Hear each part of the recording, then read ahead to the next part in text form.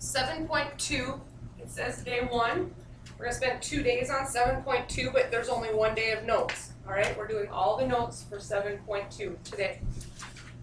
And now on your notes, they look like this, but yours are all filled in and completed. Over here, what we're going to do to solve a linear system by substitution today, what we end up doing is you choose, yours is filled in like that with these words over here. So we will have two equations. We choose the one that is either x equals 2y plus 4 when you have either x all by itself, or sometimes it might be y equals 3x plus 8, or 2x plus 8. Whatever equation has the variable, it might be the x, it might be the y. Whichever it has all by itself, that's the first equation you're going to use in our substitution method. So in this case, which one would we use? The top one or the bottom one? The top one, because this one has y all by itself. This one doesn't have, this has x plus y on this side. They don't have a variable all by itself. This one does. So we're going to use that equation. And since it's the y equals, you take this. So they're telling us that this y right here is going to equal x plus 5. So they take that y, here's x plus, and instead of y, they put that in for the y, the x plus 5 and then that equals the 13. They substitute it in there. And then when you solve, you use your distributive property, x, this is a 1, assumed 1, plus 1x, what's 1 times 5? Equals 13. Combine like terms, so now I have 2x plus 5 equals 13, like written here, and this is all in your notes. So then we, what? Minus Yep, minus 5. So now I have 2x equals 8. Divide by 2. x equals 4. Well, half mine is done on the graph. I don't even have to go to the graph. So you have an ordered pair. You have your x and your y in your ordered pair. Which one of those did I just figure out? So is that the first one or the second? So I already know it's 4. So now I just have to figure out the y. So I take this, since I know x is 4, and I go into that very first equation, which is y equals x plus 5, right? And they tell me, we just figured out that our x is what now? Four. 4. So now y equals 4 plus 5. What does y equal then? Nine. 9. Done. No graphing involved. It's easy. Yep, and then you check them. And then you'll check them. So you would go up to the originals, and off to the side you will show your work, show your checks. And we already know right here, x is 4, 9 is y. So right here, does 9 equal 4 plus 5? Yes. Yes, because 9 equals 9. That one works. How about here? 5 Plus nine. plus Nine. 9, does that equal 13? Yes. Is it 5? What's x? Oh, no, it's four. Oh, you're sleeping, I caught you. What is it? What is our x? Four. Four. 4. 4. Okay, so you substitute your ordered pair in. 4 plus 9, does that equal 13? Yeah. Yes, we just had it written wrong.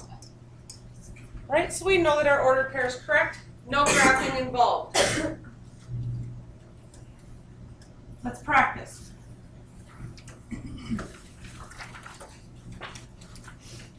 Here are our two equations. Which one do we want to pick? Okay, we're going to take this one. And we know our y is the 8. So, do I put the 8 in for the x or the y? The y. Right, because y is the 8. So, for the y then, I'm going to have x plus what? 8 equals 27. Minus. Okay, minus 8 to both sides. x equals what? 19. So, we gotta have a, our answer. Here's our ordered pair, parentheses and a comma. Do I put 19 first or second? First. First, because our x is always first. Just like alphabetical order, x, y. Now what do I do? The eight. Okay, go back up to the first one now. We have y equals 8, right? Yeah. Oops. That's it, isn't it?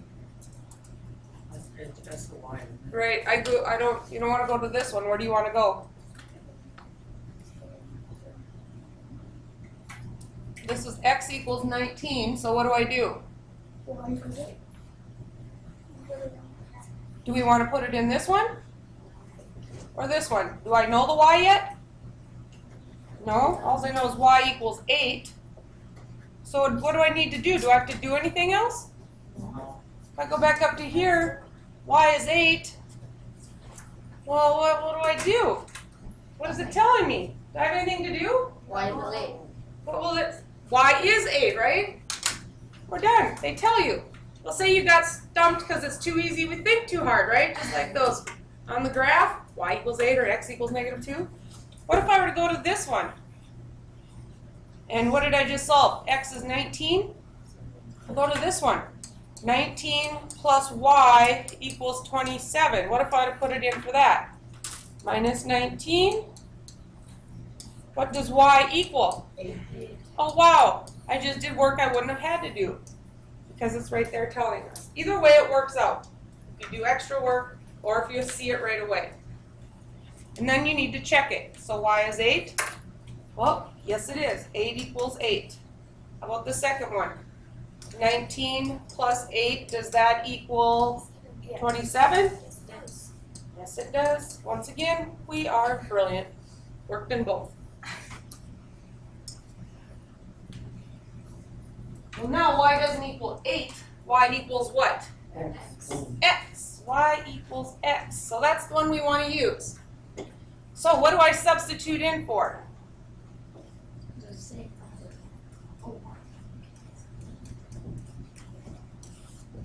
If y equals x, where do I put the x?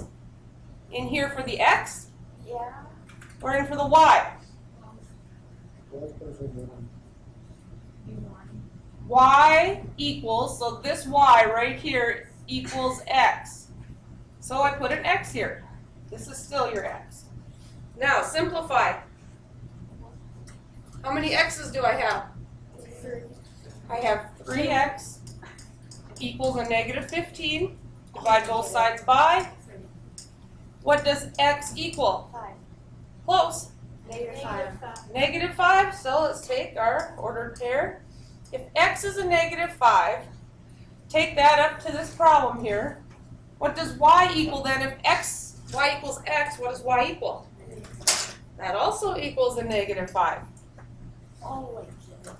Okay, so if x, we go up here and put a negative 5 in for my x. Or say you didn't know and you went to this one. 2 times, well they're saying x now is negative 5, so 2 times a negative 5 plus y equals negative 15. What happens if I do that? What do I get here? 2 times a negative 5 is? Good, negative 10 plus y equals a negative 15. Add 10 to both sides. y once again still equals a negative 5. So it doesn't matter which one you pick, you'll get the right answer if you do the math correctly. Then you check them. Does y equal x? Negative 5 equals a negative 5, that's good.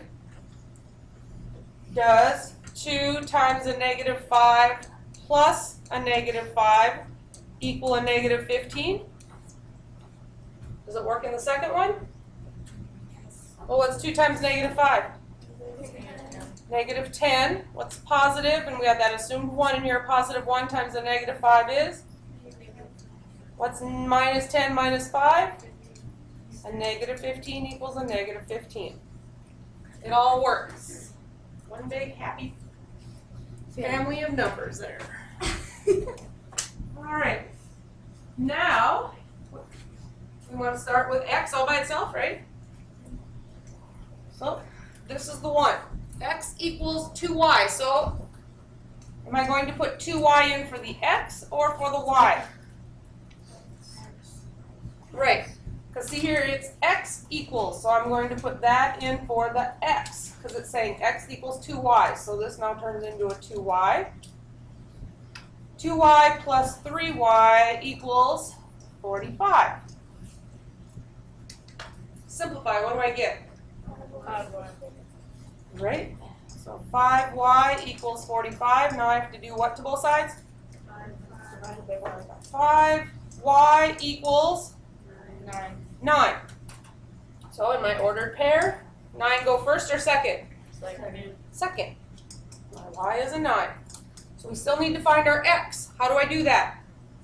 Half close to two Y. Substitute. You can pick either one of these, but I'm going to pick the easiest one here. To find x equals 2y, 2 times y. Well, now I know my y is 9. x equals 18. Let's see if we did it right. How do I do that? Good. So let's go back, substitute, and check in each one. This one, my x is 18. Does 18 equal 2 times 9? Yes. Why, yes it does. That one's good. Now let's check this one. What's my x? 18. Plus 3 times, what's my y? 9. Does that equal 45? Well, this is 18. What's 3 times 9? Good. So 18 plus 27, what does that equal? 45. Woohoo! 45 equals my 45. They both work. On to the next problem. No graphing needed. All right, this is your last one. I'll give you a couple minutes to come up with an ordered pair and then we will compare. Okay, let's get you started first because we're having troubles on the substitution here because y, they're telling us y is x plus 4, right? Yeah. So, are we going to put an x plus 4 in for the x or for the y? Y. Yes, we're gonna, they're telling us y is this, so we have to put that in for our y.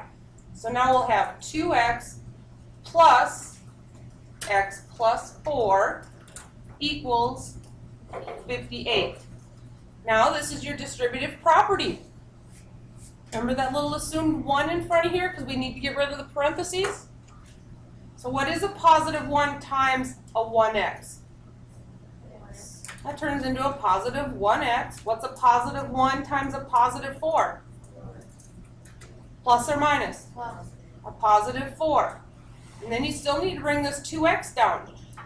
So now we have 2x plus 1x. We combine our like terms. And we get what?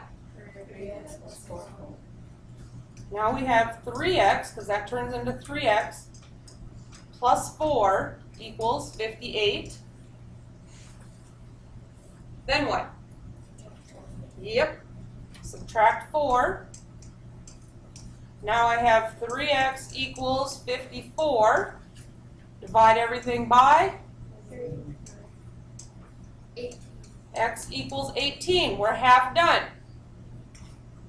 Is that my first or my second coordinate? My x is my first coordinate, so now I have 18. I have my x, I have to find my y. So now we take this 18 and you pluck it in. I'm going to use the easy one.